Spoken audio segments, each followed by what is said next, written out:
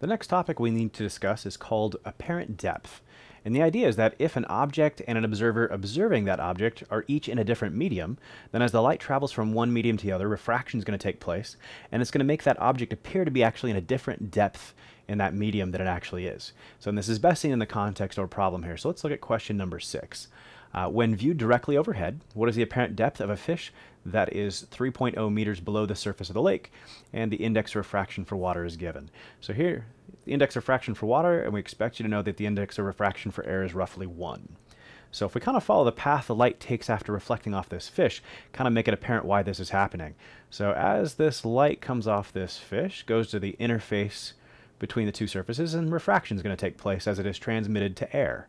And in this case, we're going from a higher index of refraction to a lower index of refraction. And as a result, then your angle is going to get bigger. So in this case, it's going to bend away from the normal, here going towards the observer's eyes.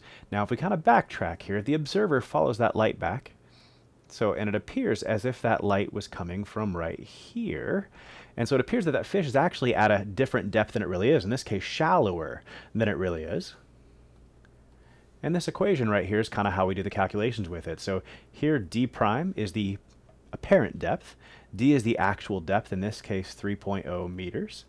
So n2 is the second medium the light travels through to reach the observer. n1 is the first medium the light is traveling through. Uh, and in this case, then, we're going to have 1 over 1.33.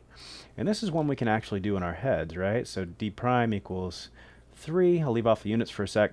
1, and 1.33 is the same as 4 thirds, so I'm going to divide by 4 thirds, which is the same thing as multiplying by 3 fourths, and 3 times 3 fourths, in this case, is 9 fourths meters, which is 2.25 meters. And so this thing, even though it's actually 3 meters deep, it only appears as if it's 2.25 meters deep uh, due to refraction taking place at the interface between the media.